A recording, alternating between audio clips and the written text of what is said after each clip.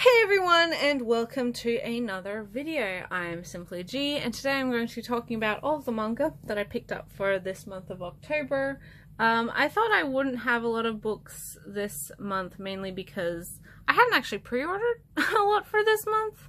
Um, I had a couple titles that I pre-ordered but the rest uh, I just I I had kind of low priority for buying books this this month.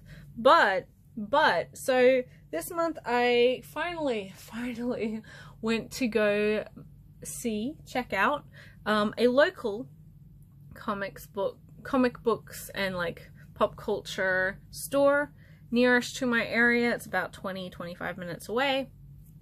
Um, just to see their manga uh, section. They they mainly focus on graphic novels and and comics, but they do have you know, manga and other nerdy things in in their store and I wanted to see what it was like because I'd never been there. I'd, I'd driven past quite a few times.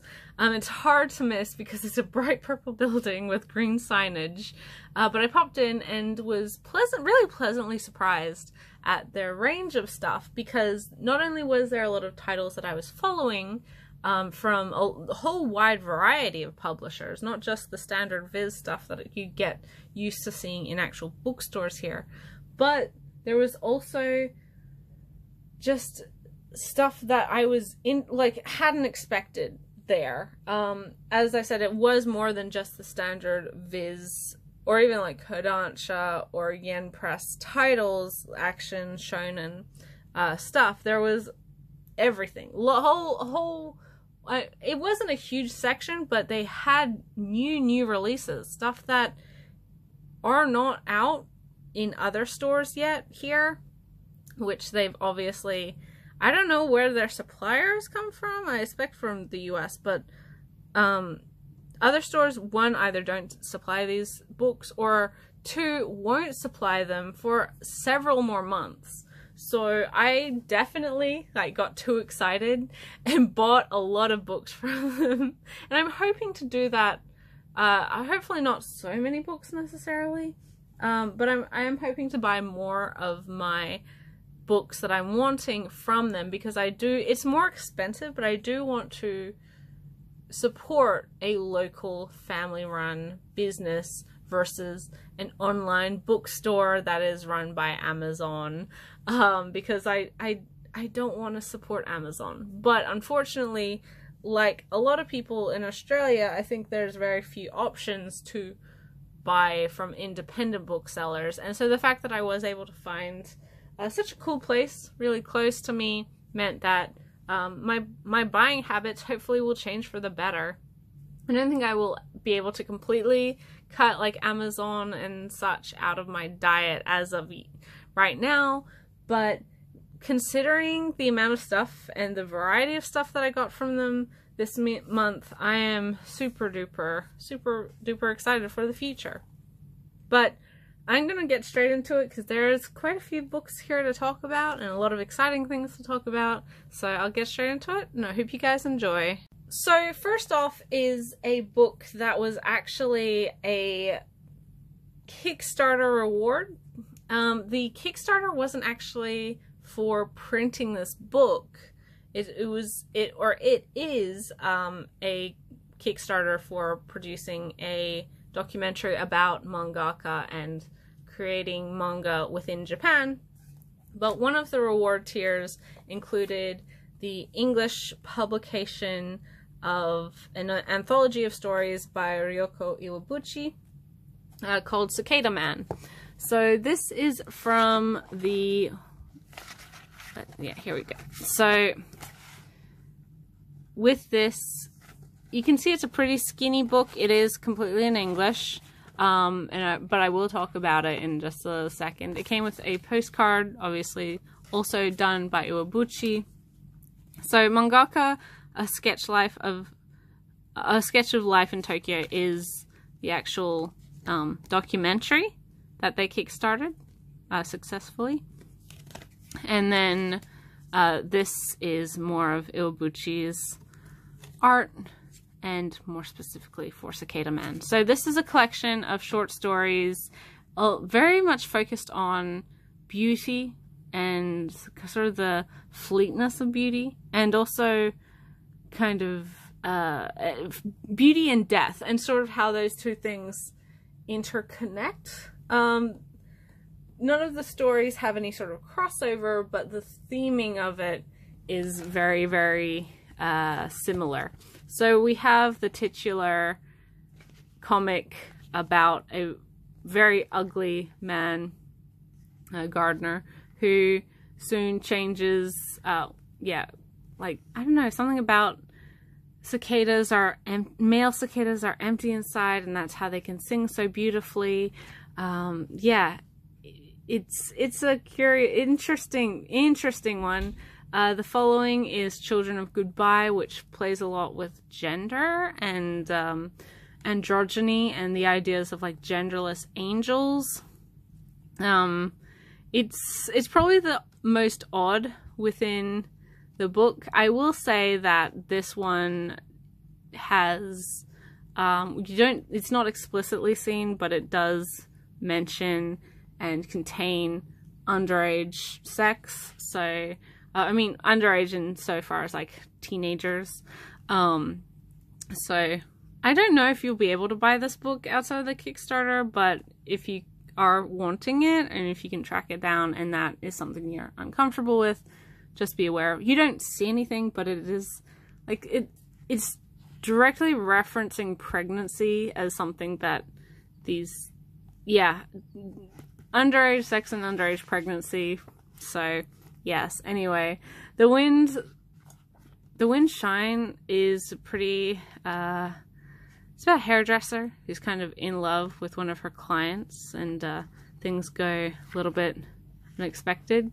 Uh, Beautiful Boy's Bone is White, I think it was uh, this mangaka's debut, and is about a beautiful boy, a pretty boy, Bishonen, um, who all of these girls have just like a psychotic love for him. He dies unexpectedly, and then uh, it's about their just obsessiveness and again like the the beautiful and the young die early like that whole sentiment the good die young um, there's direct reference or uh, comparison with characters like gilbert um, from uh, the the wind the trees the what the i can't remember the i can never remember the full title of that and also and also Ash Lynx from Banana Fish. Um, so yeah, it has that kind of uh, feeling to it. The wolf is uh, kind of a strange werewolf story, and then um, this one is the tattoo. Uh, again, it's pretty straightforward. Boys, tattoos, and then at the end we have a gallery with a lot of very beautiful pictures. Um, if nothing else, Iwabuchi has a gorgeous art style, which I'm sure you've been looking at this whole time.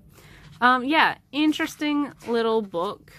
Uh, also has an interview at the back, done by Alan Kepsky. I think I believe that's that's the pronunciation of that last name. Who's also the editor and sort of the organizer for this particular little book. Um, so this is very obviously not a professionally published book, uh, I'd say. Um, it's not, it, it feels like a Kickstarter book, and that might be even a little mean to say about Kickstarter books because the translation on this is quite clunky, and the editing is there I don't want to say there was no editing because there was very obviously editing, but I don't know if they were everyone on the team was English speakers, namely because there's some understandable spelling mistakes in here um, and things like that nature. It doesn't feel like a professionally released book, which it isn't. Like it's a self-published book that isn't even the main reward for what this Kickstarter was meant to be, so perhaps the expectation isn't shouldn't be that high for it. I, I would hope that it would be high, but like they are it feels like an amateurly published book, which it is. Um, again, I don't know if you will be able to get this book outside of the Kickstarter, if you'd be able to buy it. Um, I think it was a limited thing for just this, the backers who were wanting it. But yeah, so I can't, like, I. I don't know. I don't know um, whether or not we'll see more of this ilk or more from this particular creator in English again. But it, it's it's not like I liked it. It's a it's an interesting mix of stories, and Iwabuchi has a lot that I think she likes to explore in her series.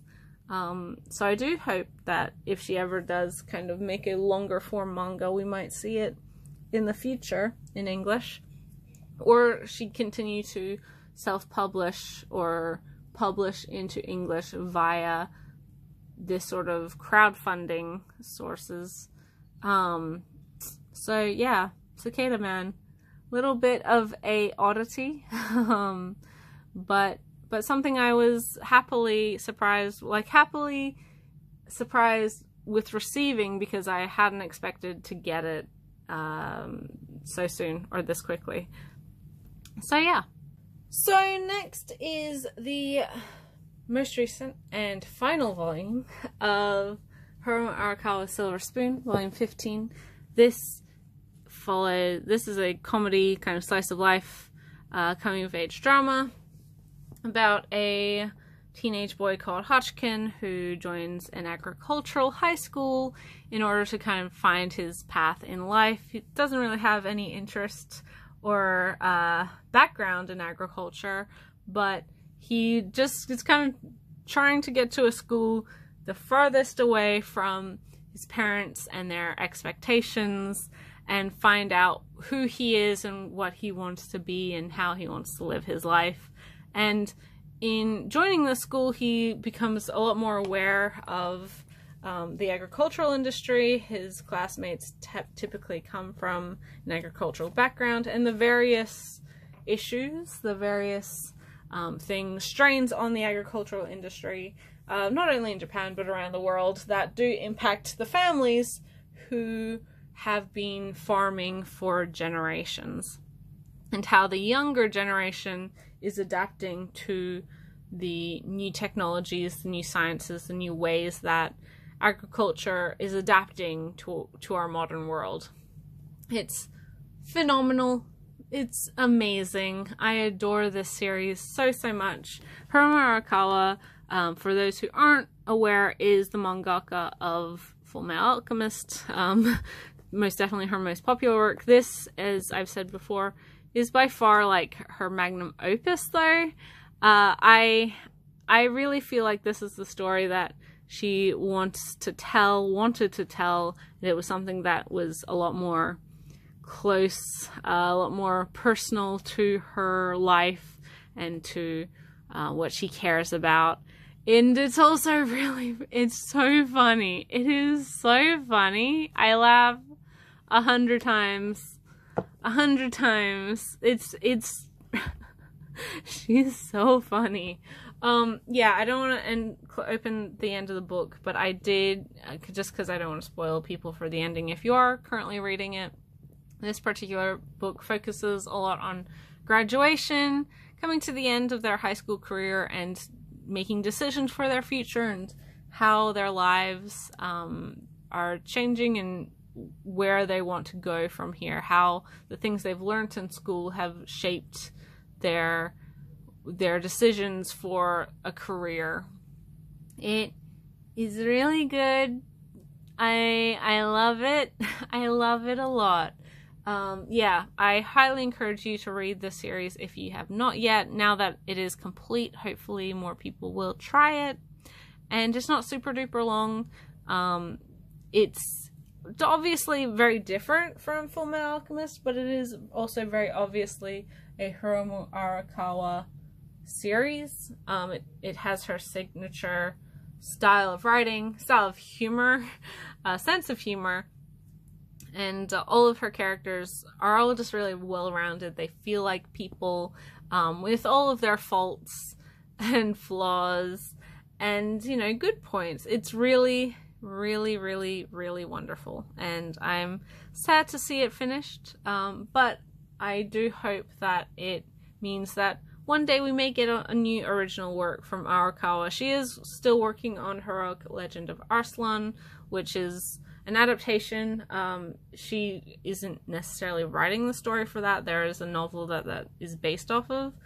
Um, but if this if this and Full Metal are the only like truly original works of hers that we see, I mean that what a what an amazing amazing career that would be.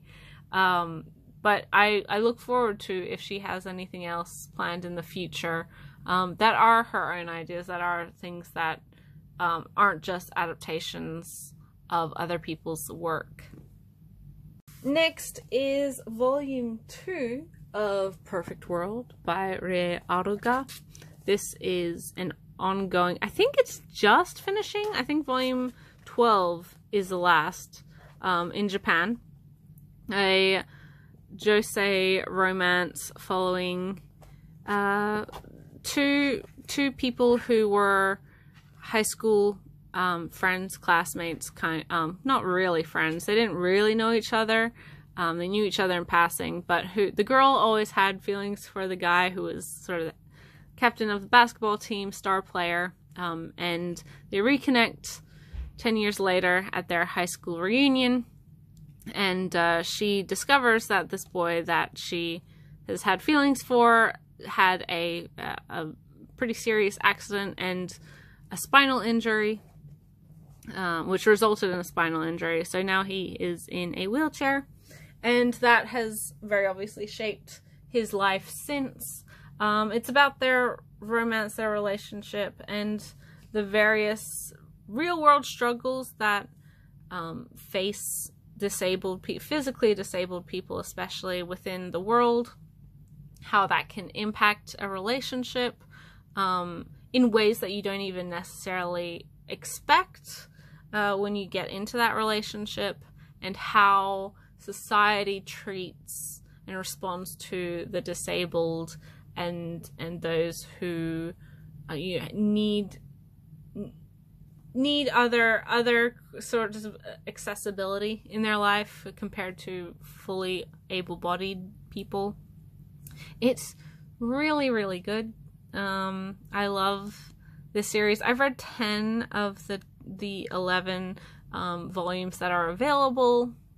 The 12th, I don't think, as I said, the 12th is the ending. I don't think the series is actually finished yet. I think there's two or three more chapters, and um, it will be published in Japan at some point, and in English at some point, obviously.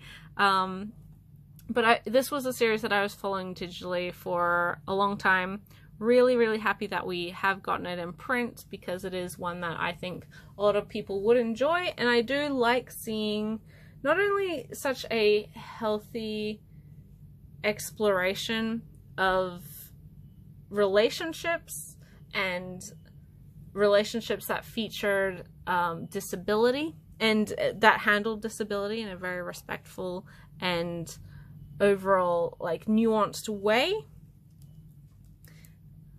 that doesn't hide away or kind of sugarcoat the the gross and gory details of and realities of of disability, but it also doesn't like make them terrifying or disgusting or like horrific and and like the end of the world or it's the end of your life once you do uh, do become disabled. Um, it's yeah. Ooh, ooh, ooh, ooh, ooh, ooh. Um, I yeah, I've spoken about the series a lot previously um, on in videos and on disability in manga.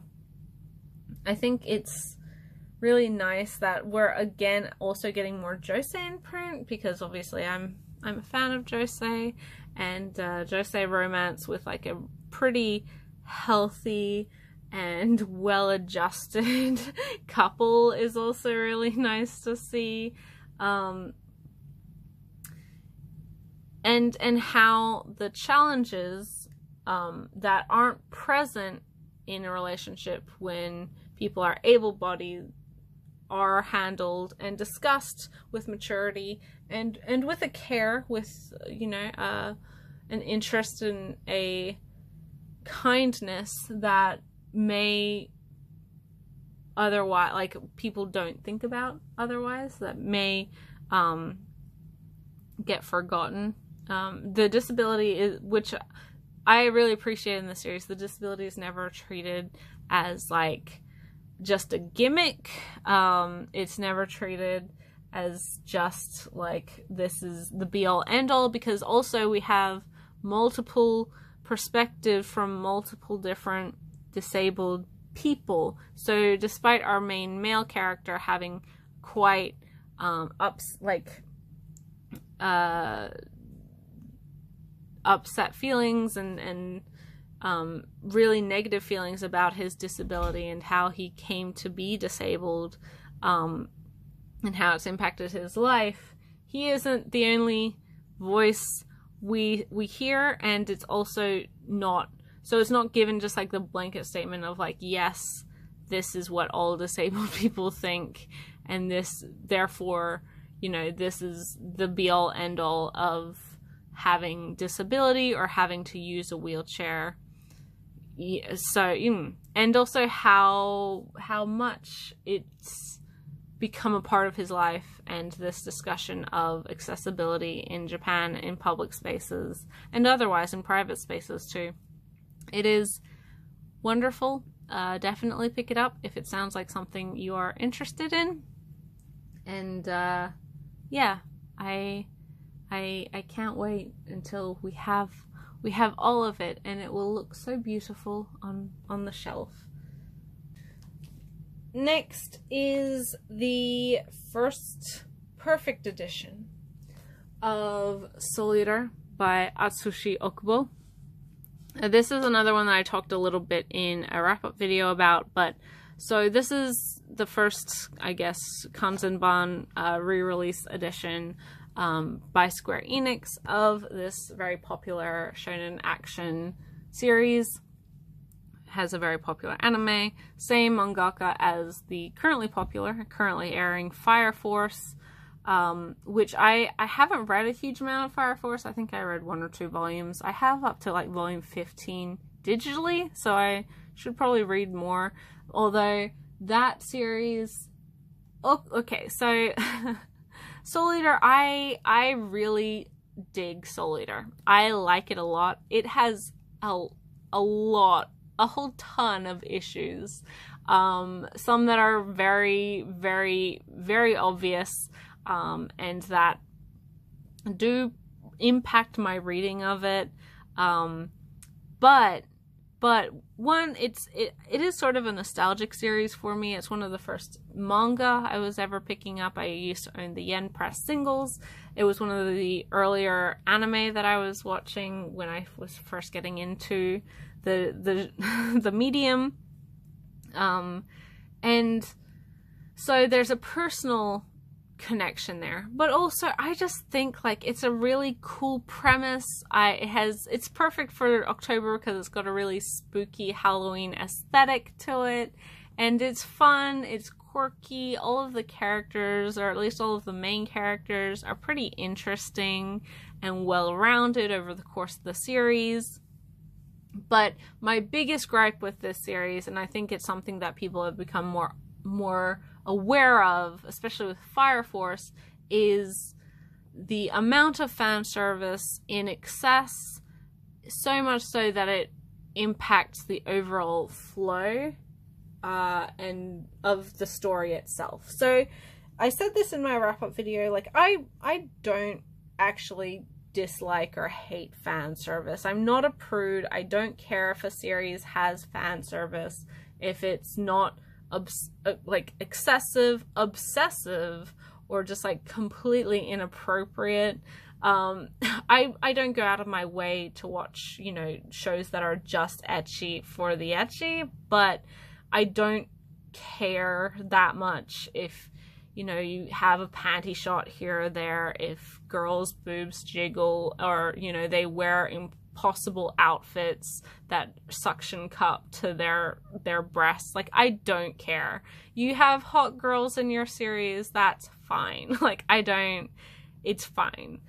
But when it becomes so much the focus of a scene in an otherwise in a story that otherwise like is moving at a pretty fast pace or it has other alternate like storylines that it's following when you when a series just stops to focus completely on fan service or the fan service character so much so that the entire story grinds to a complete halt is when i get like upset that there's fan service that it's it is actually impacting the flow of the reading or watching as well.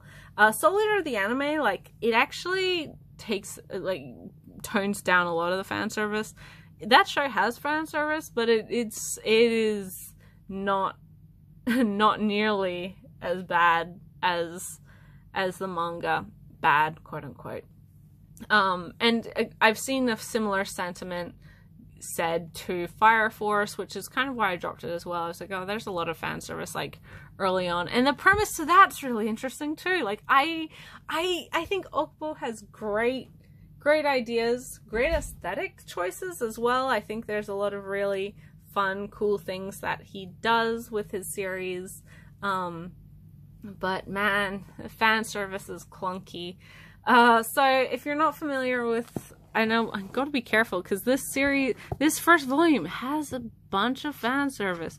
So this series follows three groups of uh, Weaponmeister pairs.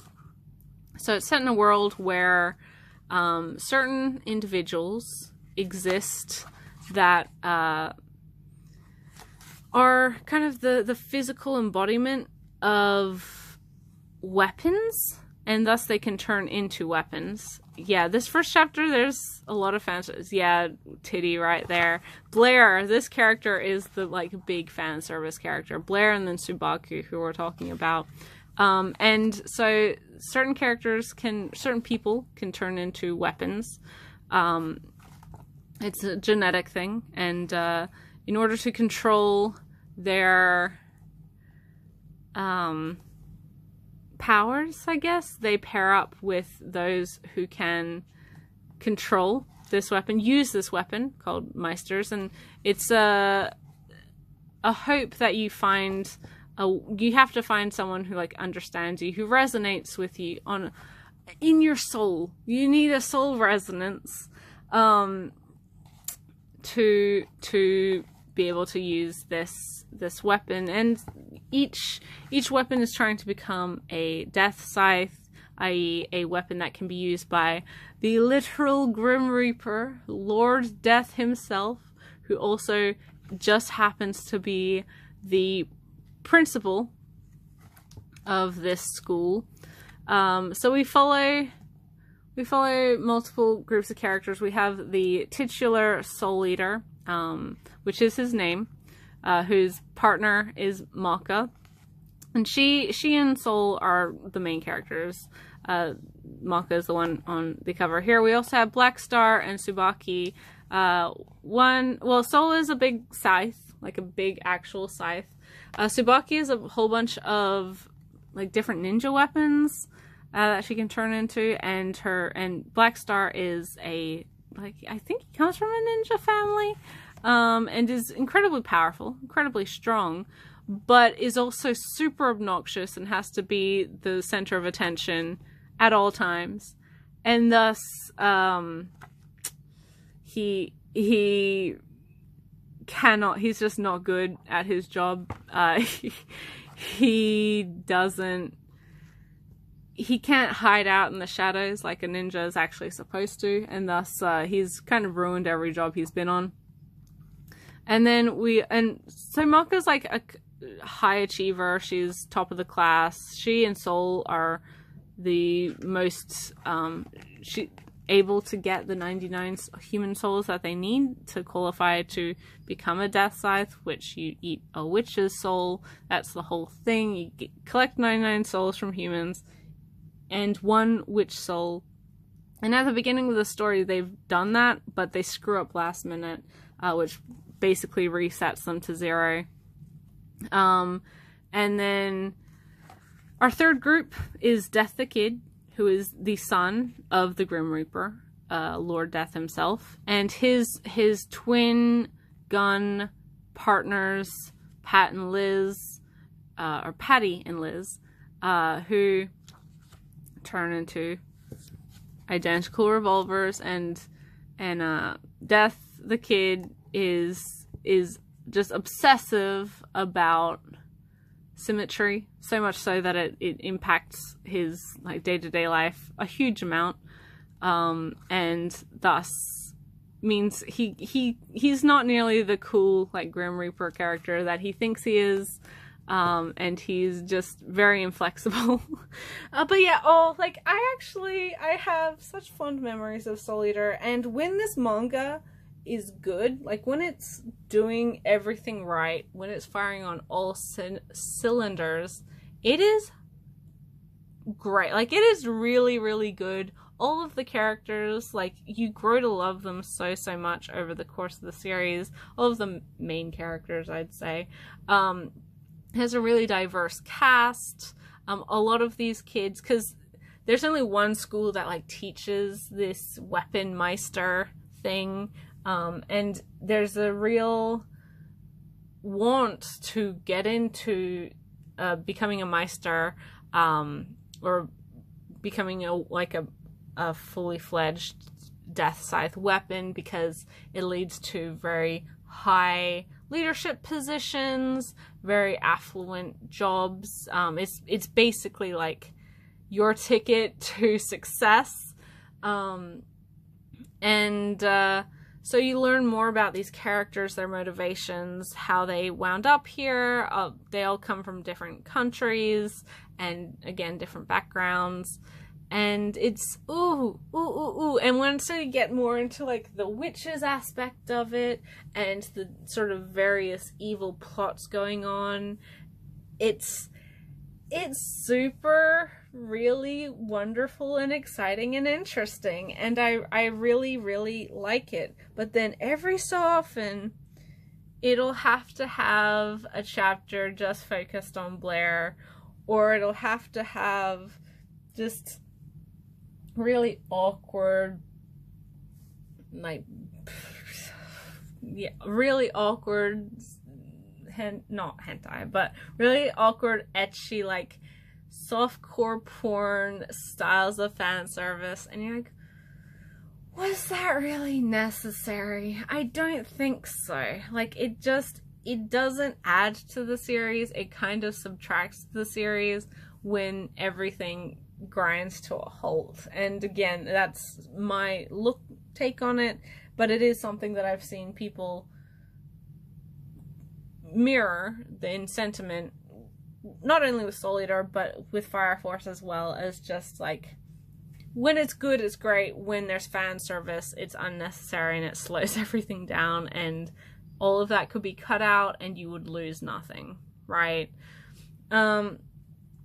So yeah, I was kind of uh seesawing on whether I wanted to pick up these editions of Soul Eater, mainly because I you know I've read the whole series. I used to own the singles. I sold them many years ago now, um, just because I was wanting needing space and I didn't think I'd read it again, or I just you know it wasn't it. I, I it's hard because I do enjoy it so much, but then at the time, especially the bads kind of were very, very overtly like fresh in my mind. Um, and you know this was five years or so ago now um, but but this book was at that local comic shop that I was talking about earlier, and it finally gave me that final push to pick these up. They are very lovely. If you're pick, buying the Full Metal editions of Fullmetal Alchemist, they are in a very similar style, same trim size, hardcover, um, archival quality paper, color pages, um, and a new updated, um, well, I say spruced up, I guess, translation, um, which I I don't think there's been a huge amount of change just with this first volume, but I will be interested um, in subsequent volumes to see how they handle Crona's pronouns.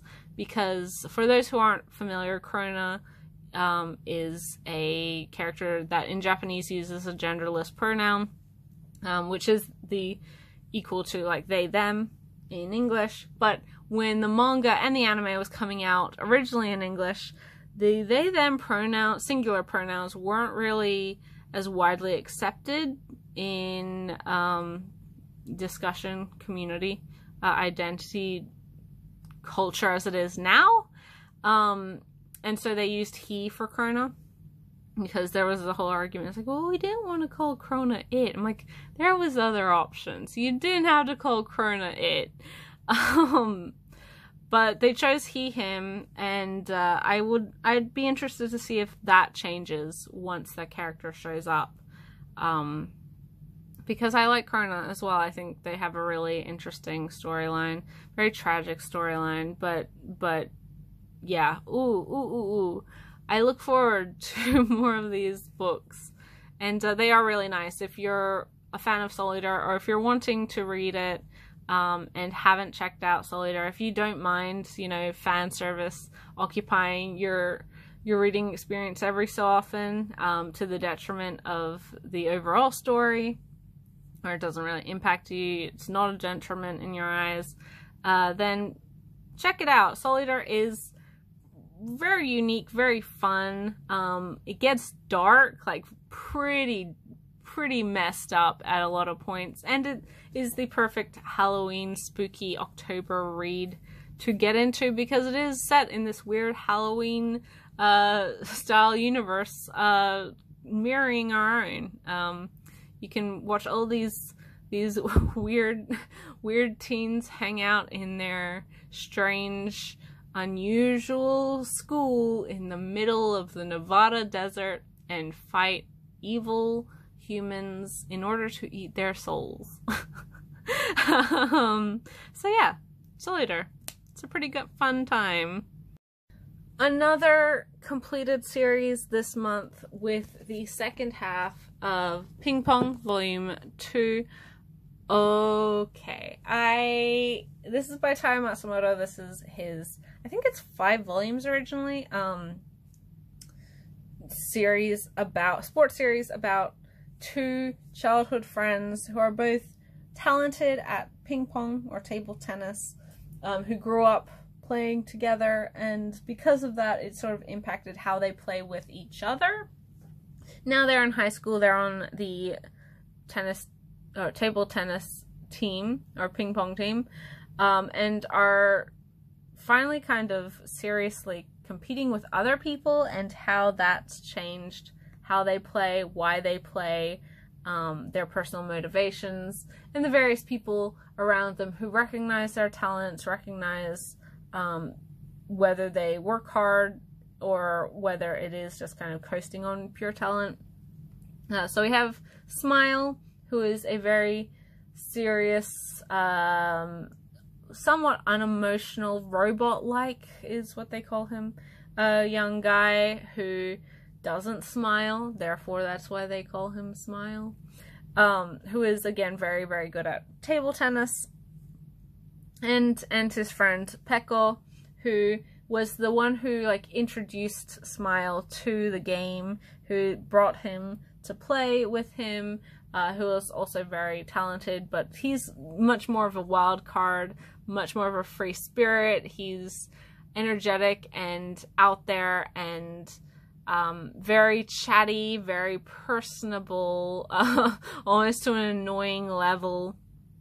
Um, and and his his love of the game and how he reacts to Smile um, doing so well in competition versus himself. And it's it's ooh ooh ooh ooh ooh I mean sports series can kind of be a hard sell for a lot of people um, because I think there's still in some communities the the stigma that sports manga and sports the sports genre isn't interesting. Um, or if you're not into sports you're not going to enjoy them. I am the least athletic person in the world I love sports manga and sports anime. I can't watch sports live action stuff because it bores me to tears, but but comics, anime, I'm there for it, right? Um, I do watch, I mean, some sports uh, on TV and stuff, but I'm not the the type to actually go out and play a team sport or even an individual sport myself. Um, but time, I also knew like I've seen the anime adaptation of this. It's phenomenal. Highly recommend it. Uh, 11 episode series, complete adaptation of the books, the uh, the the manga, um, done by Masaki Yuasa, uh, who you may know Devilman Crybaby and other various various titles. But Oh, I adore Taiyo Matsumoto's works. Um, and all of them are so different from each other in a lot of senses. Like they're completely different genres, they're completely different characters and stories, but there's always this struggle of youth and kids finding their way um, and finding their place. And he, oh, he's such a phenomenal artist. Look how well the movement it. Look how just, oh, oh, it's so dynamic. And there's just so much personality in Matsumoto's works. Um, we've gotten a lot of his stuff in English recently, uh, which is great because I love it. um, I love that fact. We've recently gotten um, just announced that number five is being relicensed by, or I guess reprinted, relicensed by Viz after their first attempt didn't do too well, um, which was many a year ago now, and I'm glad they're going back to reassessing uh, his titles and re- releasing their titles. Um, we have quite a bit of his stuff available in English. Um, Ping Pong was sort of the notable exception for a long time, but obviously now, now we have it. Um, Black and White or Tekkonkinkreet is sort of his most notable work that also has an anime adaptation, film adaptation, um, which is wonderful. Uh, and that has a big, very large trim, um, two in one. Is that a two in one series or a three in one? I can't quite remember. But a complete series, single volume book release. Um, we also have Cats of the Louvre, released by him, Sunny, which is a six volume release hardcover um, that one's set in the 70s with a orphan orphanage or like a, a child care house. Um, and then also Go Go Monster. And uh, I feel like I'm forgetting one. I can't, but I, oh, Blue Spring, which is like an old, old, old uh, short story collection that again was when Viz was sort of just dipping their toe into this creator and his works. Um, but I'm really happy to see his stuff being made available, and I think more people buying it, enjoying it, recognizing uh, him and his work. All of his uh, all of his series also have like I think there's a perception that his artwork is bad, which I will argue with you endlessly over because no. He's an incredibly accomplished artist, and just because the character design or the art style isn't the same as generic, you know, shonen manga 473 doesn't mean that it's bad. I've you know me, I I will argue art style versus art skill till the cows come home. Um, but but what's so notable about Matsumoto and his work is that all each of his titles like has he's adapted his artwork to suit the story that he's telling in that book. Comparatively to like earlier I was talking about Silver Spoon, Hiromu Arakawa's art style doesn't change between Fullmetal Alchemist and Silver Spoon. You can tell that both of those titles are hers. Um, similarly, Soul Eater. I mean, the first the first several volumes are rough. Like it's an early work, but throughout the the overall consistency of the art style in that series and then Fire Force's current series, you can tell it's the same creator. And that typically is the case when you're talking about mangaka because or when you're talking about artists because they have, they develop a style and they stick to it because that's what they enjoy, that's what works for them and that's what their fans like as well. Matsumoto, he is always very obviously his style, but there are subtle and sometimes very large changes between each work that makes the art in each series suit the feel, the atmosphere, the mood of what that story is about and how those characters feel and what needs to be focused on for those characters. It is it is so good I highly recommend everyone try Tai Matsumoto's work, especially Ping Pong. Um, if you're not wanting to buy the manga, stream the anime. It's not a hugely long series, and the art style is captured perfectly thanks to Yuasa's also kind of unconventional art direction, character design direction that he has in his series. Um, but yeah, Ping Pong, fantastic, and uh, be sure to check it out.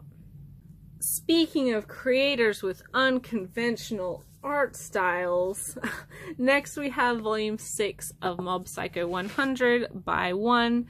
This is the most recent volume put out by Dark Horse of this coming of age comedy about a kid with ESP psychic powers who, uh, you know, just trying to live his life. Uh, unfortunately, he keeps getting dragged into problems because other people are like, hey, you have ESP powers. We want to um, exploit you. Or you could be amazing. You could take over the world. And he's like, but I don't, I don't really want to do that though. I just kind of want to live my life maybe get a girlfriend and uh, you know be happy and normal and uh, it's it's fabulous it is so so good. Um, i know i would say that probably people agree with me uh, now especially since the anime adaptation. And i'm not saying that like i'm i also wasn't going into this series blind. I i watched the anime adaptation first um, and it is one that it's kind of a little bit of a slow burn early on. It takes a couple episodes to figure out what the series is quite doing, but one is exceptional at being funny, but also having like such a heartfelt, true message of growing up and finding yourself in this series um, I don't dislike One Punch Man. It's been a long time since I've read it, and it's been a even longer time since I was watching it. Um, I've only seen the first season. I know people dislike the second season because of studio changes. Um, but One Punch Man will always feel like it doesn't quite hit the heights, the narrative heights of Mob Psycho 100, mainly because the larger joke, the larger theming around the joke seems to consistently, I don't know, push. Because the whole point is like in One Punch Man, the whole point is like anyone can become a hero if you work hard. Um, and then sometimes, you know, when you reach your goals, you do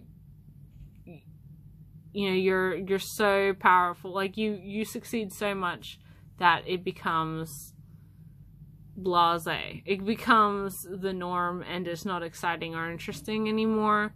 And it's up to you to like keep that momentum going, right? Um, or at least from what I remember of the first 10 volumes. Um, and it's, you know, it's funny, like, oh yes, you know, he's so powerful and he wins every fight with one punch and yada yada. But the joke kind of that's always the punchline, right? Is he's so powerful no matter how powerful the, the villain is, ultimately one punch will will end it and you know, life will go for Saitama, things he's like gets really hyped that maybe he's finally found a villain who will take some like a some actual effort to beat, but no, he just has to go back to his bored life and uh, maybe maybe physical power isn't isn't you know the most important thing after all. or What what does the strongest person in a fight do when fighting becomes boring because you are the strongest person in the fight? Like that's the whole theming, the whole messaging, um, the whole premise of, of One Punch Man. And it's like it has its funny moments. It has its funny characters. Um, I will say, and I've said this since day one, that I do think that the art style change in the manga version versus the web novel um, or web comic, sorry, uh, is to the detriment of the series because Mob Psycho has one doing the art, and you saw like it's not character design wise, it's it's simple. It's again quote unquote bad art, but it is so much more effective, so much more effective with its emotional parts, with its comedy, with its everything than I think a more generic art style would have been. One is a good artist. People have tried to tell me that he's not, but he's a or they're a good artist. um yeah. I don't think you could do the things that are attempted and successfully pulled off in Mob Psycho if you didn't understand how art works, how art can be used for comedy, and how effective comedic timing is through art, right? Um, so yeah. Mob Psycho 100 Volume 6. This is a 16 volume series um, completed in Japan. So we're we're slowly getting there. Um, I I always am excited when Dark Horse puts out one of these volumes because it just shows that they do actually care about the manga that that they're putting out to some extent. Um, and if all of these deluxe like Berserk editions and whatever they're putting out gives them enough money to keep them licensing stuff that that I'm enjoying, then more power to them. Keep re releasing various editions of Berserk and Blade of the Immortal to your heart's content, and I will keep buying Mob Psycho and all their other weird little quirky titles that are um, less of household names and less uh, heavy hitters within the industry. So next is another like weird, quirky, unusual, um, perhaps unexpected volume uh, for me. Uh, in which I don't know, people who've been around a long time should know that I I read a lot of weird stuff, um, and I've actually read this creator's previous work and enjoyed it. Like I did like it a lot, um, which is kind of a very divisive, very divisive series. This one is his more popular work, um, and I I follow it week to week on the Shonen Jump app. This is volume one of Chainsaw Man by Tatsuki Fujimoto. This follows uh, a teenage boy called Denji, who, um, when sort of at the beginning of the series, he has a dog devil who is also like you can see is part dog, part chainsaw. Um, and okay, this is a, like a very violent, very gory manga. I do want to uh, preface my ex- my explanation and my flipping through with that, but it follows uh, his character, and he's an orphan. He doesn't have any education. Nobody's ever cared about him, um, and he he lives in this world where devils are quite common. They impact and ruin people's lives very regularly, and there's a security force called Devil Hunters um, who you know, hunt devils and kill them and to stop them from doing bad stuff, right? Um, but so one day, uh, Denji is attacked and killed, violently killed by the people who are kind of ordering him around. and uh, he his dog uh, Pochita, this this chainsaw dog, um, makes a pact with him um, and gives gives him the second chance of life as the devil himself, and he becomes the titular chainsaw man. As you can see, he has a chainsaw head and arms and all these things. And uh, so throughout the story, uh, or in the story later, he joins the security force. He's given the opportunity to live a normal life, which was his one dream. Um, live a normal life and like touch a boob, which seems pretty on brand for a 15 year old. um, and and so he joins the security force and uh, kind of gets exposed to just the horrors of devils and um, trying to fight the gun devil, which or the gun or the bomb devil, gun devil, um, which has just destroyed entire populations. And there's a lot of like mystery and questioning as to who is really the bad guys here and what are devils and why are they around and um, yeah. It's it's i i follow as i said i follow this week to week. Um, i really enjoy it a lot. It is has been said and i would agree that it's one of the best things in jump right now. Um, it's really interesting very unusual to what i think most people think of as like a shonen jump title. Um, it is less in your face with just obscene shock uh shock value of um his previous work which was um fire punch which as i said i have read and i did like like i enjoyed it um but that series is very divisive. It has a lot of just like horrific stuff, straight up um, cannibalism, incest, vi- violent, uh, so much violence against the weak and the elderly and children, sexual violence.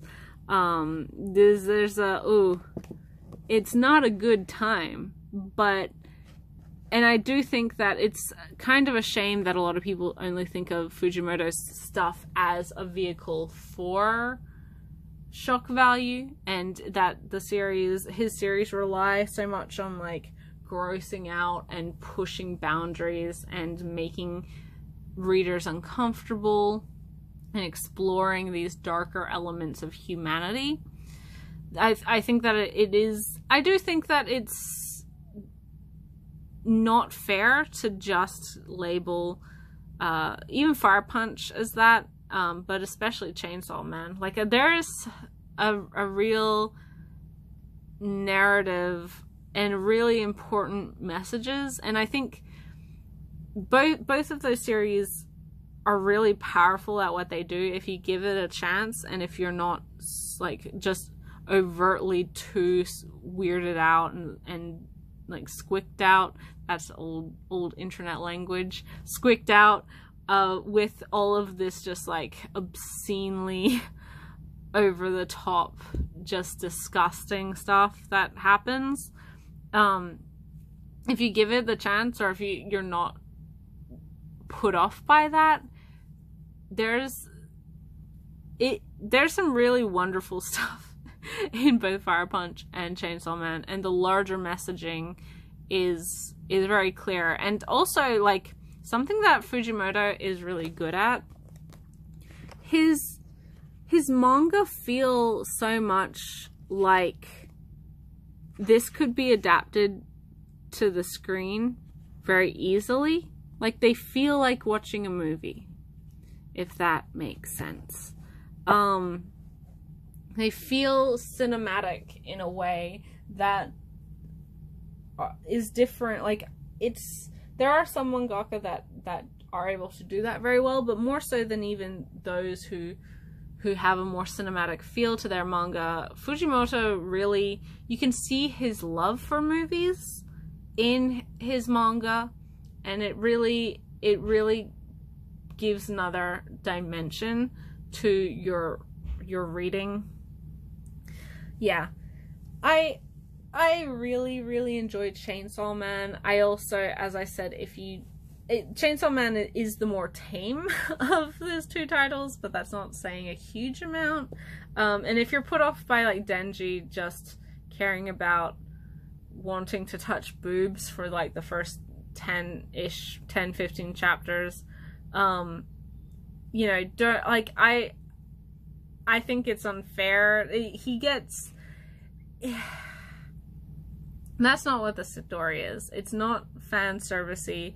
It's not that he doesn't have any personality out of wanting to touch boobs. But one, he's 15, as I said, and two, he just he's literally had no human relationship, no human like connection with anybody, and he doesn't know how to interact with people, and he doesn't know how to rec- like his whole dream was to live a normal life and being able to have a girlfriend and to touch a boob is like the most normal thing in his brain to think. Like that's that's normal. That's what normal is. And that so if you go with that in mind like it makes more sense. Uh, as i said don't don't judge poor denji on his his first 20 his, his self of his first 20 chapters. He's yeah, he's been in a bad situation his whole life, and he's still in a bad situation, even now in the manga. And it's seeing the breakdown of the good situation that he was in was not in this volume, so I'm not going to talk about it, but you see that of uh, in both this and Fire Punch of the characters coming from like really really bad situations and finding comfort, finding more security, finding somewhere where they feel safe, where it's better, where they can feel like themselves, and then disaster happens, or their own hubris. They they create their own destruction, and they it shows just how broken they are and how much their trauma and their background has impacted their life, and how from there they can but just because that happens, just because tragedy kind of repeats itself, and just because things go, turn terrible yet again, it doesn't mean that there's no cause for hope. There, yeah, Fujimoto, despite all of the shock, shocking violence, gore, horrific situations in every like human aspect, um, are ultimately very hopeful stories um, ultimately very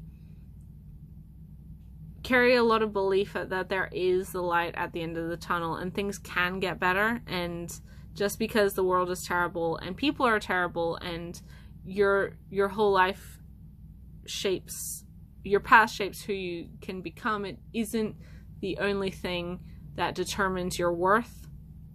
And it isn't those things aren't the only thing that determine whether or not you're allowed to be happy and that you should be happy. And what is like what truly is happiness and who grants that and who who gets to make the decision on other people's unhappiness. And it's it's really really good. Um yeah definitely read this one on um the Shonen Jump app or other like Manga Plus if you're in a region that isn't covered by the Shonen Jump app. Um, give it give it a try because it is if you can like survive the first part of it um, where it is setting sort of the stage and if you're not put out by the violence and just everything in it then uh, yeah do do give it a try um, i will also say that Fire Punch in its entirety is available. If you have the manga, like the Viz Shonen Jump app with a membership, uh, you can read the entirety of Fire Punch for free on the Viz website reader. Um, just because that one is too too violent for um for the the app. It doesn't it doesn't fall into uh, the safety or the the restricted protocols of the App Store, so not allowed to have it on the Shonen Jump app itself. similar to like Golden Kamuy and some of their other other titles. Uh, Hell's Paradise is another one. So yeah, if you're already on the website to read Hell's Paradise week to week, or show, uh, or Golden Kamuy whenever the new volume comes out, be sure to check out Fire Punch as well, and uh, it it'll save you from like actually having to buy it and then being just like so put off and be like, why did I buy this?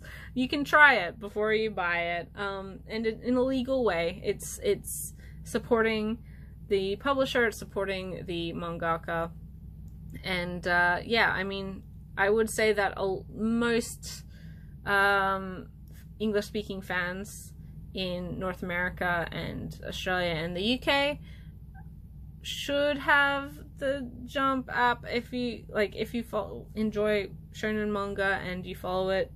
Um, even if you're not following it week to week but if you're wanting to read practically everything in Viz's shonen catalog then and $2 a month is not a huge commitment uh, not a huge cost expense and Chainsaw Man and Fire Punch are both quite short. They're only 80, 90 ish chapters as of right now. Um, Fire Punch is finished. And Chainsaw Man kind of feels like it's wrapping up. So, not super duper long series either.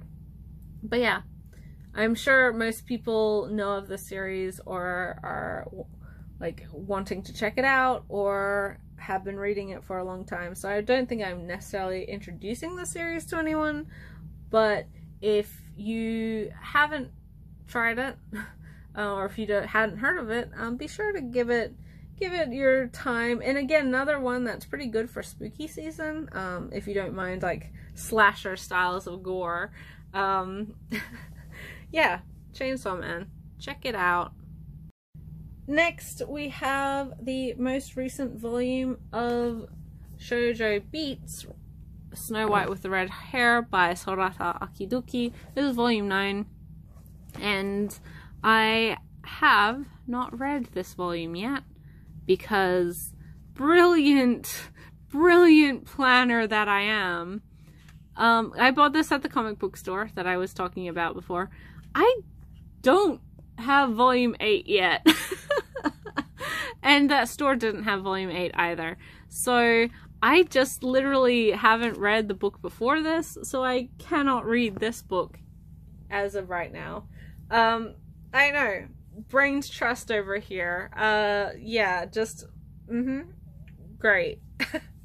but if you have not read, or if you're not familiar with Snow White with the Red Hair, this is a shoujo set in a kind of uh, a royalty uh, setting where our main character, uh, Shiroyuki, has beautiful red hair, vibrant hair, um, so much so that it caught the attention of the prince of her homeland, who wanted to make her uh, basically like his concubine. He wanted to to sequester her in the castle, but she had much higher and uh, more self-respecting goals for herself. She was a herbalist in her hometown and wanted to continue her studies. So she runs away at in the dead of night to escape this prince, runs into the forest, and ends up running into um, another young guy uh, with with his two associates, um, who also turns out who turns out to be another prince, the prince of the neighboring kingdom, um, and they they quite quickly uh, befriend each other. Uh, they get along quite well and uh, they very obviously hit it off. Like they're, it's very obvious that they're into each other. Their romance blossoms pretty quickly. But not only does he offer her sanctuary in his home kingdom, so she doesn't have to worry about being dragged home to to you know please the the fickle prince of her own kingdom homeland. Uh, she also is offered the opportunity to study and work as a court herbalist at the castle itself. Um, in order, so gives her the opportunity to keep doing her her her life's work, her passion uh, of wanting to help people uh, cure their illnesses and such, but also allows the two lovebirds to to be in close proximity to each other, basically Um, and it's about, you know, Shiroyuki and Prince Zen and uh, their the guards, um, Kiki and oh my gosh, I always forget his name, the other guy. And then also Obito, who is sort of her personal guard, um, bodyguard. I love this series. I mean, I, I wax poetic whenever it comes out. This is an ongoing series in Japan. There's 22-ish volumes, um, so we're about halfway through. Not quite, but almost. Um, and I really, well, again, great cast of characters, really wonderful relationship, very respectful and well balanced relationship in which they support each other's dreams and goals and such things that you'd hope were happening in a a healthy relationship. Um, it also has like a, a decent amount of action and problem solving and various plots, uh, political um, scheming and stuff like that.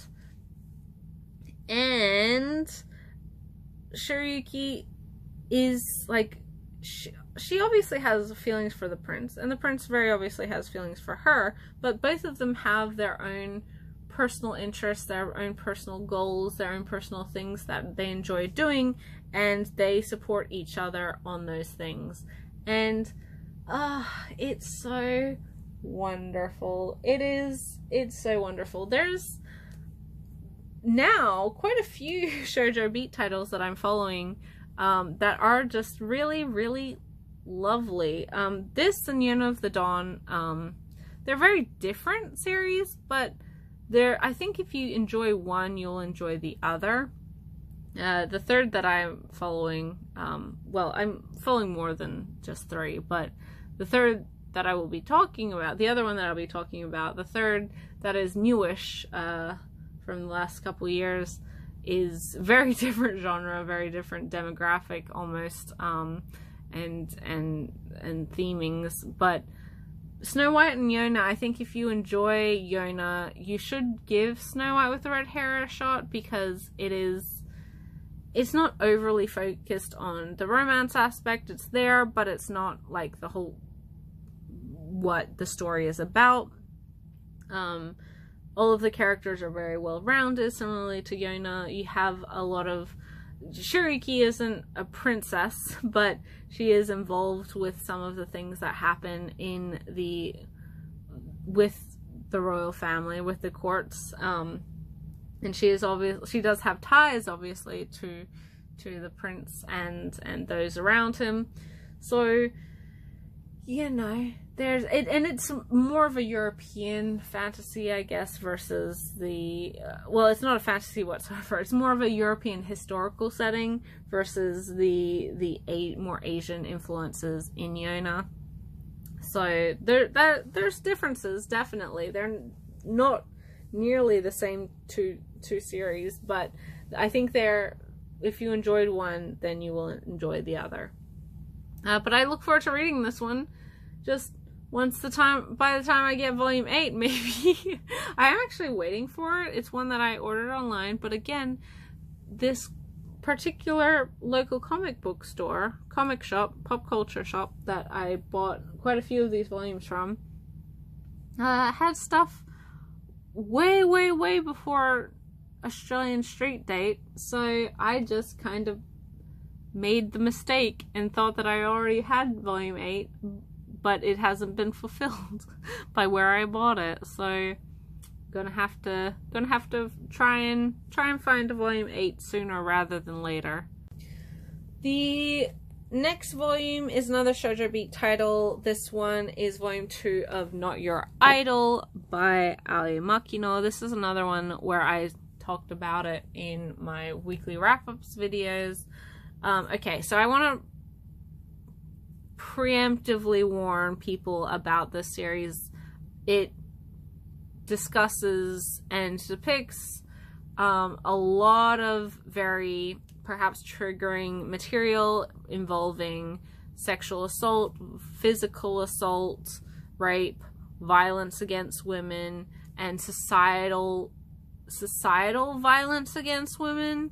Um, rape apologists, victim blaming, just general societal sexism, those those sorts of things. Um, if those are things that are difficult for you to read, that upset you, that are not um, good for your mental health or your well-being, absolutely you can, you know, you, your you know your mileage. You can assess whether or not you want to read this series. In saying that, this is one of the best series, full stop, that I've been reading recently. Um, it is a shoujo series. It's not your idol is the English title. It's called Sayonara Miniskirt in uh, Japan. It also talks a lot about um, one of the other larger themes is the toxicity of idol culture and celebrity in society. And again like we see it with the the me too movement like the dismissal of allegations when it's women for even famous women um, making allegations against people um, in the same level of power or more power or less power. Like unfortunately women are very often uh, not respected when um, when it comes to a lot of lot of lot of issues in society. So this follows a high school girl, a teenage girl who the year before was working as an idol as part of a group called Pure Club. She was the kind of forefront, the main girl, the, the lead singer or whatever. Um, and she loved being an idol. It was sort of her dream. She just loved the idea of being an inspiration and giving people a bit of hope and happiness um, to her fans. Um, and she'd always wanted to be an idol. Uh, unfortunately, at one of the meet and greet events that she attended with the rest of the girls, she was violently attacked with a knife by uh, someone in the crowd or someone who went there um, purposefully to attack her. And uh, since then, she's had a lot of problems with her self esteem, with trauma of the incident, and trying to come to terms with um, being okay with herself and and also trying to get back to trusting people, especially men. Um, so she's now she moved no, she cut her hair, she completely changed her style. She's wears the boys uniform um, or at least she wears the pants to her school's uniform. She lives in a different city to her mother and stepdad.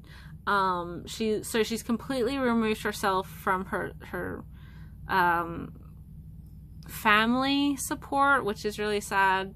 Um, in order to stay anonymous. Her attacker hasn't been caught yet. Nobody's like ever come forward to that, and so she feels very unsafe. Um, and at her school, she's very standoffish. Nobody really likes her. She doesn't get along with the guys or the girls, and she's very sensitive to, um, you know, a lot of the guys, like boys just being boys, joking around style of whatever. Um, but one day she she kind of gets closer to and befriends one of the boys in her class called Hikaru, who is part of the judo club, and uh, he he recognizes that because there's a whole setup where um like some creepy guy is has been lingering outside the school for a while, so the teachers caution girls to go home together um, or have one of the boys take them to school or to and from school uh, to just kind of prevent any attack that may happen as if it's the girl's problem to deal with. Mm, I feel like the school could have done something more effective than just been like, okay, girls, you you figure this out yourselves. Um, but anyway, why do why why do we even expect these sorts of things from institutions? I don't know. Uh, but so he's the only one who kind of recognizes that she is our main character is very um, upset by and scared of this possibility of what's going on, um, and that she she will need or may need you know help getting to and from school. So he says you know he'll walk her and he he confesses to her that he knows that she's this idol right? That she's actually this girl um, who'd left this idol group. And but the reason he knows this is because his sister is a huge fan of hers and not only the group but her specifically. She was her favorite member. And he he feels like he he understands why she's still so traumatized, why she's still so afraid, why she can't trust people, because his sister, uh, the year before or whenever, had been sexually assaulted by her teacher at in middle school, and uh, it went on for a while. People weren't believing it until ultimately, like, it was found out, and she was bullied out of school. Um, and and so and since then she hasn't been able to leave her room. Um, she's become a shut-in. And so he's obviously very concerned about his sister but saying that like he understands why it takes a long time for victims to get over things or for to come to terms with things and why it's hard to accept or like it it's a huge process to come to terms with what happened to you and then coming to terms with how to change things and uh, you know make peace with the situation and heal from trauma. And despite his sister just having you know being a shut in and having pretty severe depression since um, the incident at her own school this this idol was like her one happy point, uh, her one hopeful spot, um, and the one thing, uh, the one person to give her hope that things could change for the better. But this particular volume really focuses on some of the other characters, and there is, as I said, like pretty. You don't see anything, but I will say that there is a rape in this in this volume, um, and the way that the victim of that deals with that is also very sadly true to life. And her her logical reasoning as to how she reacts the way she does and pretending trying to not be a victim but still the psychological impact of things like that.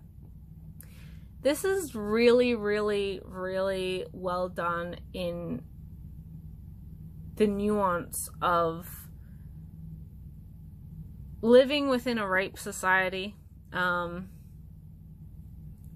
or this is this is really really nuanced in understanding living within a rape, rape culture in why society as a whole needs feminism um, deconstructing toxic masculinity and the fear of coming to terms with trauma of um, facing the the bad things in society even if it hasn't personally affected you why how the it does affect other people and how it does affect society as a whole and people's behaviors towards each other and why they need to change. And it's i said in my wrap up video and in the first volume that I really appreciated that this wasn't a cut and dry issue of like, well, girls, all the girls think that feminism is a good thing, and all the boys think that feminism is like a bunch of girls being crazy and just like uh, being unreasonable. That's not the case. Um, there are people of either gender on both sides. There's a lot of like variation in how these people see or how these kids see these issues and why they impact their lives or don't impact don't think they impact their lives. And also the reality of like playing the game, playing into all of these very to- toxic social structures in order to increase your popularity or in increase your social value um, in the eyes of your peers. And it's it's really really good. Um, but as i said it's quite upsetting especially if you are someone who may be particularly sensitive to these issues who um, don't have to you know don't necessarily want to read about these sorts of things because the sad thing is like this is very reflective of of true life. And uh i i called the first volume like a pretty quick like i don't think i've seen a very such purely feminist manga in a long time. Um but but it it really is. It's it's I think this is an important series for women and young women especially girls teenage girls to be reading um, nothing is in your face but it's reflective of just how insidious and how just completely weaved into our culture a lot of these issues are that that some people just don't even recognize them, don't even see them as a problem. And it's that attitude, that complacency that is most in need of change. So, not your idol, hard series to read, not an not an easy evening, um, uh, you know, read before bed but I do think it's an important manga. It's one of the best manga coming out right now, and especially best at tackling these issues um, and depicting them in how they they look and act in modern day. Like this feels very, very true to life. Um, so yeah, if that sounds like your thing, check out Not Your Idol. It is phenomenal. Next is a bit of an oddity. I picked this volume up at a secondhand books sale. Uh, it's an ex-library copy, uh, but this is a series that I've read a little bit of, and it is now like currently being released or published in its entirety in digitally. But I found this for a dollar. It was like, why not? I I I, why not? Um, so this is volume four of The Drops of God by Tadashi Agi and Shu Okimoto. This is sort of a, I mean, kind of like a shonen battle manga. Um, it's, I think it's a seinen in actuality about um, wine tasting, being sommelier. Um, it's about a guy who is told his father was a famous sommelier um, and is told like if you want your inheritance, then you have to find the the drops of God, which are a the the twelve was it the twelve disciples and then the drops of God, um, which are twelve well thirteen different, um, very expensive, luxurious, uh, high quality, ama- just the best of the best wines.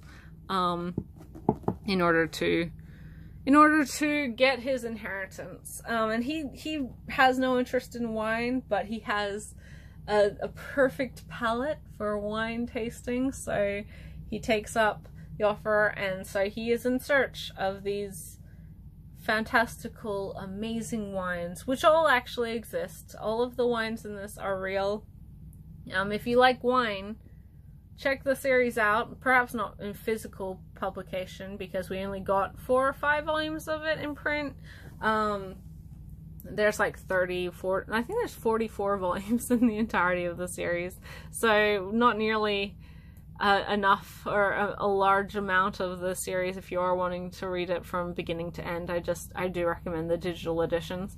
Um, but Vertical tried they certainly tried. Um, but it's nice that we have gotten this in some capacity. Uh, I like wine. I drink quite a bit of it. Um, so I've I've known of the series. I've read some of it, the older like earlier chapters before. Um, but never it, the series in its entirety. I am hoping to actually just sit down and read the volumes soon. Um, but yeah, definitely one to check out. It's a little bit different from uh, maybe a lot of the food manga. Obviously, there I think there's a perceived sophistication when we talk about wine and we talk about sommelier and and the various types of wine and what makes a wine good. Um, but rest assured, this isn't actually that snooty or anything. Um, it does feel like an act, like a battle action manga, but just with wine as the focus. Um, so if you like that sort of almost a food wars style of, um, you know, competitiveness, check this one out. It's it may surprise you.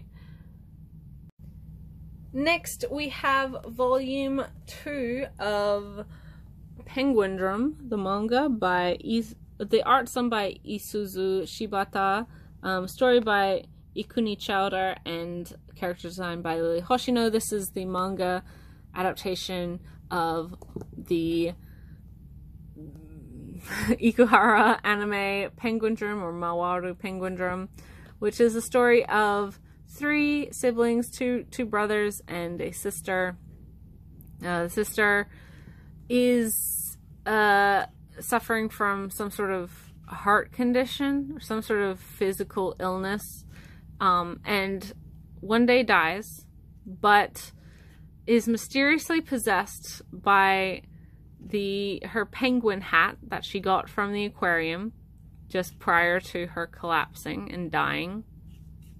And uh, the the soul within this penguin hat, the princess of the crystal or whatever it is, um, gives tells the brothers that she is granted a additional life for the soul of this body. So she, he's she's brought back the sister, um, resuscitated her, um, but only if they will help her in um, her the ways that she needs. If if only they will assist her, and because they are obviously very dedicated to their sister, they love her.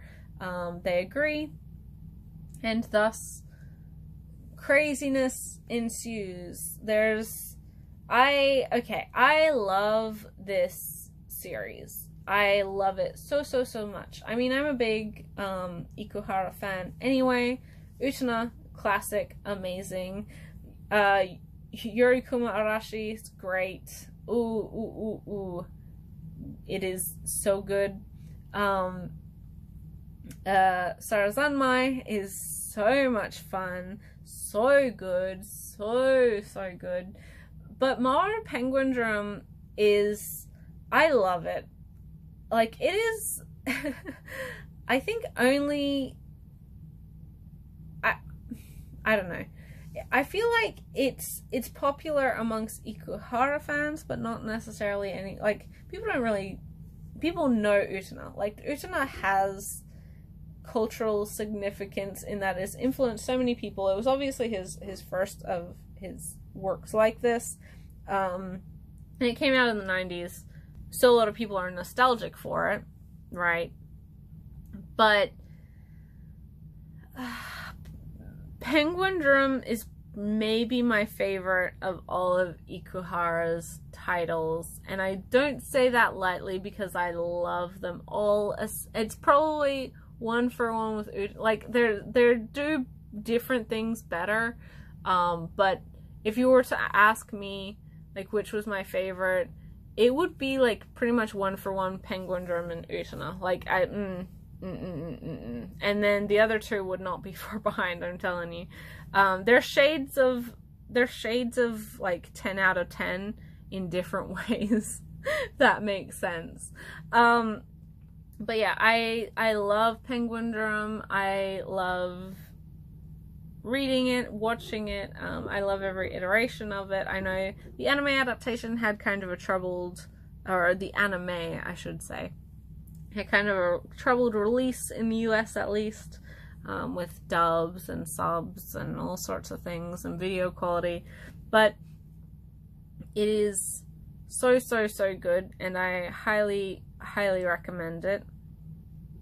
Um, I don't know if it's streaming anywhere, and it would be a shame if it's completely out of print. I think Sentai still has the Blu-rays available.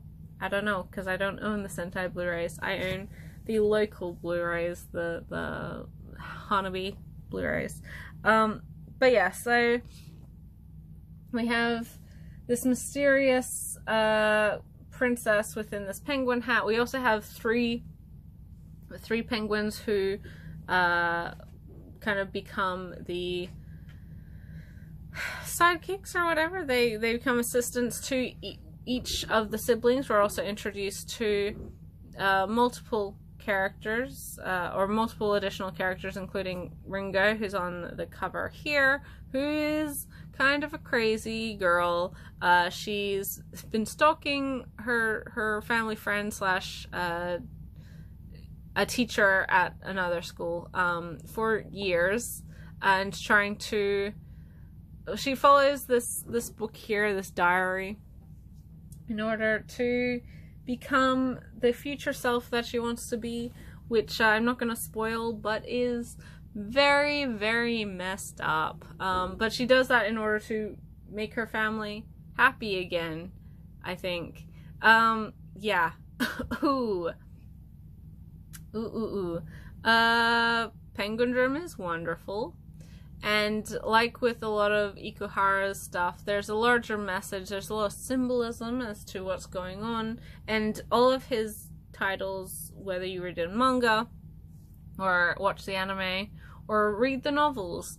There's something new to get from each of the formats and rewatching or rereading you pick up on so many different little things there's oh there's hint it, if you like like piecing together clues and reading to almost too much into symbolism and what things mean in order to paint a clearer picture i highly recommend ikuhara's works and penguin drum is no exception to that Next, we have another Seven Seas manga. This is volume one of a Yuri title that I've been meaning to pick up for a while. Uh, I'd heard very good things about it, and uh, all of the buzz that I heard around it um, seemed very, very positive. Sounded a lot like something I'd be interested in. Um, and this is a three volume series, so whilst I have read this first volume, I may just wait to pick up the last two before I read the entirety of it.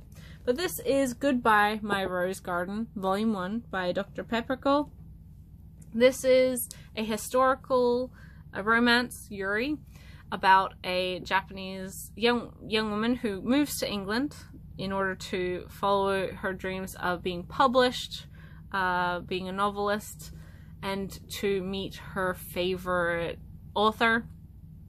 She isn't able to do that, but she does become the maid to a beautiful young woman called Alice. So we have Hanako, who's our main character, the maid, and Alice, who is, you know, of high society, has a lot of expectations put upon her. And uh, their friendship, their relationship, perhaps their um, their romance growing closer, and how society, London society, England's high society and social classes expect people to act, most especially uh, young ladies, ladies of the higher class. And uh, Alice isn't actually that well liked or respected because there are rumors circulating that she is, in fact, a lesbian. And thus you know there's something wrong with her. She's bringing shame to her family and this that whatever else. So the main uh, and i think this came as a surprise to a lot of people. It certainly like i don't know pleasantly surprised me because i'm not like homophobia is never a good thing but like it it surprised me in a good way that the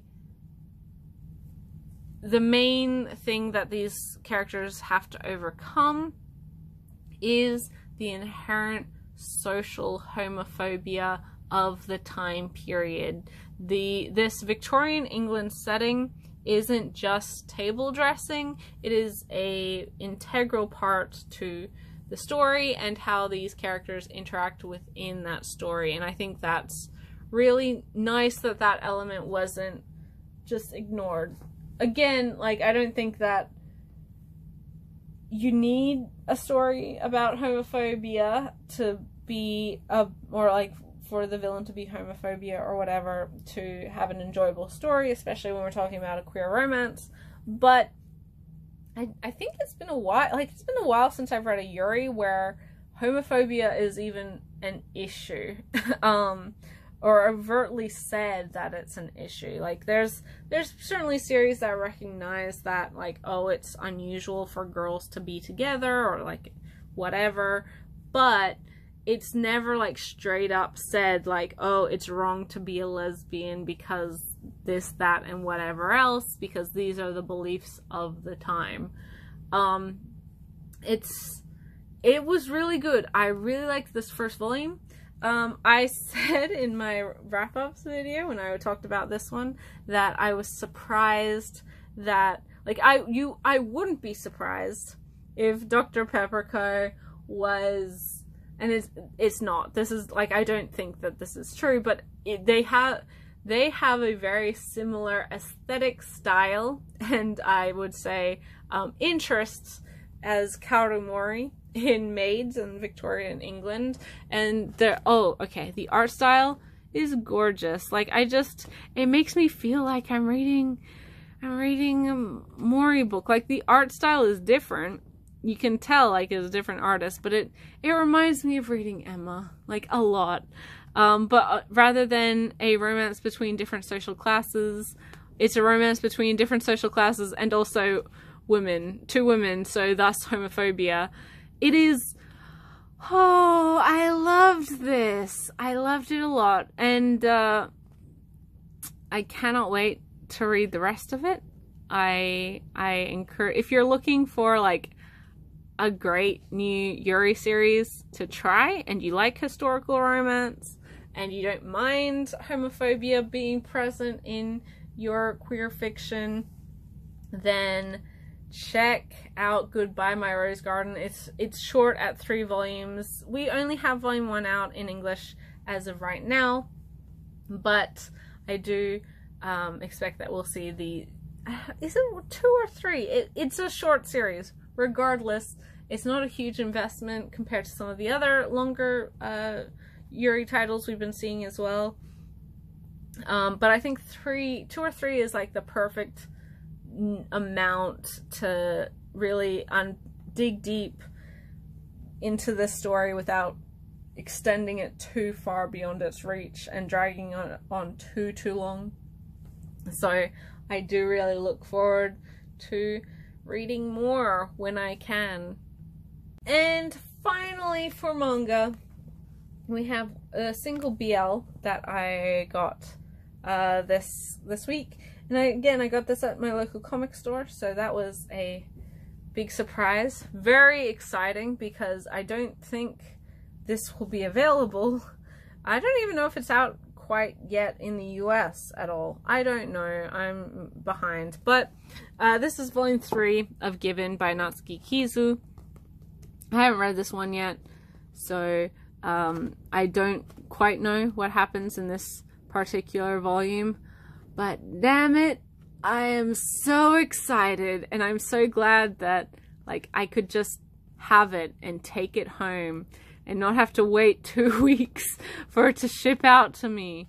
Um, I mean, this is, okay, so this is the, uh, BL, obviously. It's it focuses on a couple different characters. Our main couple is a pair of high school boys um, who are now both in well, one has a very personal attachment to uh, an electric guitar, but was never uh, personally the one to play it, um, and it had been uh, the strings broken and stuff. And so he he the other boy in this in this main couple uh, ran into him uh, in in his sleeping spot in the back of the gym, sees the guitar, and uh, tells him like, "Oh, that's a cool guitar.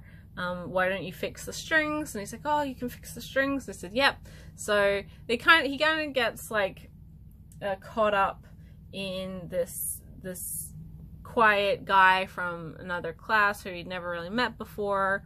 Um, and he starts teaching him how to play guitar. He later invites him to join the band that he has with our other two main characters who are university students uh, who play the bass guitar and the drums uh, respect respectively. Um, and uh, it's it's super duper good. um, it has a film coming up uh, next year. The it has an anime adaptation which you can watch right now. It's streaming everywhere that where you can legally stream anime, uh, Crunchyroll, uh, and and stuff. I think it's been licensed by Sentai. I don't remember who licensed the series, um, but it's it's well worth the, the watch. It's it's one of those BL titles that people like to say is like, well, if you're not a fan of BL, like you can still watch it and enjoy it. Um, it or like it doesn't have any of the toxicity of what people think of like BL tropes. Um, which is kind of unfair because BL is such a huge genre and demographic. So it's well, no, it's not a genre. It's such a huge demographic, and I think a lot of people still th- see like the worst of the mid '90s stuff as like what is what it is and that's obviously not the case we know this. Um, but if you are someone like who doesn't regularly read bl um, if you're just someone who who likes queer fiction or who likes music music fiction i would recommend it. There's there's drama. There's a lot of relationship drama especially when it comes to the adult characters or the the university student characters but the high school re- relationship i mean there's drama there as well but like it's it's all actual human relationship drama that like actually happens in real life and none of that really toxic toxic stuff that do- would would have happened in like 1995 um, when reading BL. But anyway, great series, great music as well, which is another reason to watch the anime. And characters are all very empathetic. You really feel for them and their situations, and you really want them to succeed um, not only in their their interpersonal relationships and their romances, but just in being them and in growing up and finding themselves and becoming more strong um, to who they are and healing and connecting through music and it's just it's beautiful i look forward to reading this one i don't know why i've put it off i've kind of had a slack reading week this week um unfortunately but Given is wonderful. Um, it is one of my favorite BL coming out right now. Uh, it's just all around great at what it does, and it definitely deserves its popularity and its accolades. Um, I think there are six volumes currently in Japan, so we are halfway through uh, what is available. But these are slow releases, like most Sublime books. It, it takes a while um, to get books from them. Not because they're slack or lazy or anything, it's just BL in general has a pretty slow publishing schedule, so you don't want to catch up too quickly uh, and then be waiting for years until the next volume, which has happened. Um, but yeah, so Given is really, really good and really happy that I was able to get this third volume and not have to worry about like shipping and having to wait for the post and all these all these other things. And finally for this month I picked up a light novel again from their local comic shop. So they do also have light novels, which was a really exciting thing to discover. And this is the first novel in the Penguin Drum novelization. So I was able to get both the manga and the novel this month. Uh, again, I haven't read this one, um, but I mean, I I expect that it's a pretty close rendition of the original anime series. I don't think there'd be too many changes. Uh, typically between adaptations, you just get like small changes, a little more expanding on on certain events. Uh, you may be within characters' heads, uh, so you see from their perspective versus from an omniscient narrator or viewer's perspective, which I don't know if that's the case here because I haven't even like opened it up to look. Uh, but this is, uh, aside from Ikuhara's influence, was written by Kei Takahashi. And, uh, yeah, basically follows the same events as what I said in with the manga. Um, this was put out by Seven Seas as part of their light novel um, line. I don't own a lot of Seven Seas light novels. Not for uh, honestly, I, I can't even just really remember what they put out. Not for lack of interest or lack of like titles. I'm sure they have a lot of really interesting, cool stuff. And I may own some of their titles, but nothing immediately jumps out to me as a book of theirs that I own as of right now. Oh, um, Paranoia Agent. Paranoia Agent? What am I talking about? Perfect Blue. Perfect Blue. I own those novels, and I think those are Seven Seas uh, novels. Um, but normally the light novels that I buy are from Yen Press or J Novel Club nowadays. Um, but again, I, if I mean, I'm happy. Whoever licenses what, if I want it, I'm gonna buy it. Like, it doesn't matter. I don't. I have no loyalty to any particular publisher. We know this. Um, so yeah, I am hoping to read this sooner rather than later. I'd be interested to see like where on the timeline this one ends, um, or the events of the the show or the series it ends, because I know there's, I think it's an ongoing novelization. Um, he has the manga's five volumes, so I think the novels are three volumes. I don't know. I can't remember. Uh, but I've been wanting to get this for ages, and it just kind of like slipped priority wise down um, month after month after month. And so the fact that I was able to get it at this local comic store was really great. I was really excited and happy, and again, super, super willing to pay for the convenience of just like having it there and taking it home. So I don't mind. I don't mind the extra costs that comes with supporting a local family run business versus buying online. Uh, but yeah, Penguin Drum. I hope to read it soon. So that was everything that I got for this month of October when it comes to manga and light novels. Quite a bit more than I expected, especially considering I didn't pre-order much, if anything, uh, this month. And I really lucked out in finally checking out that local comic store because they did have so many things that I was wanting that I was excited for um, but I hadn't just gotten via other means and I hopefully will be able to continue to support them in the future on a regular basis. But let me know your thoughts and feelings on any of these titles. Do you love them, hate them, hadn't heard of them? Did you start Chainsaw Man or um, Soul Eater or even Not Your Idol recently? Have you been following any of these titles? Did you finish any titles this month? I love reading your comments and I do try to read and respond to every single one of them. Um, if you enjoyed it, consider uh, liking the video, but you know, no obligation if you don't want to. And of course, if you enjoy this uh, this content, then you I you could subscribe. I feel like half of my audience isn't actually subscribed to me, which is, I mean, maybe fair. but if you are wanting to to regularly follow my videos, um, this clicking the subscription button will will certainly help with that. Um, in the description box below, as always, I have my Twitter, uh, link to my Twitter. I'm on there quite often. Um, and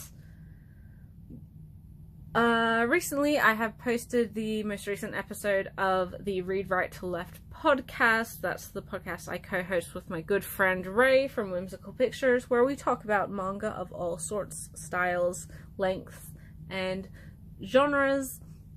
This month we talked about uh, horror manga for spooky season, so lots of great titles in that discussion. Maybe some things that uh, you hadn't heard of or uh, maybe want to be checking out, especially considering there is a Kodansha Humble Bundle horror manga deal going on right now. Um, so jump on that if you want to um, or if you can. Um, otherwise, yeah, uh, I also tomorrow night, which will be Saturday, the 31st of October, so Halloween. Um, it'll be 10 a.m. Eastern Standard Time, U U.S. time, um, which is 10 10 p.m. for me.